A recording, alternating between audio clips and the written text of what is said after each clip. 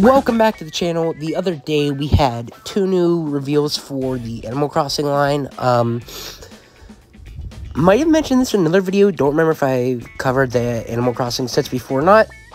Never played it. Don't know anything about it. Watched my friend's mom play it for about 10 minutes. And I can tell you what happened those 10 minutes. That's about it. Besides that, Animal Crossing is not something I'm too interested in. More excited for the Fortnite set. Starting off here, we have a airlines um, fly with Dodo Airlines. Set looks decent, looks all right.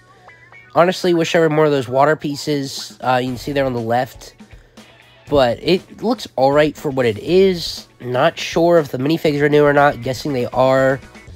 Don't know the price of this either. I honestly don't remember the prices for the first wave at all whether they were too expensive or, or, or not. Not many people talked about them, honestly, so I don't know, but for what the set is, it looks alright. I think if you like the game, I think you'll like this. Then a slightly bigger set here, um, Concert at the Plaza.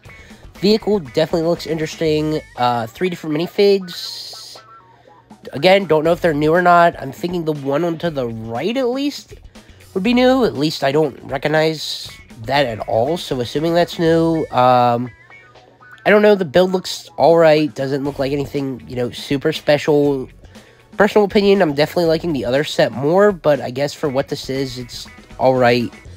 Um, you know, nothing too crazy happening here. So, there they are, two new Animal Crossing sets. Let me know if you're going to pick them up or not, what you thought of the first wave. The only thing I picked up is uh, Polybag which I literally just found two days ago at my local Target. So, honestly, don't plan on picking up any more unless they go in clearance or something. So, let, let me know what you think of them. If you like the first wave, if you think these two are going to be worth the price or not. But thanks for watching, stay tuned, and see you in the next one.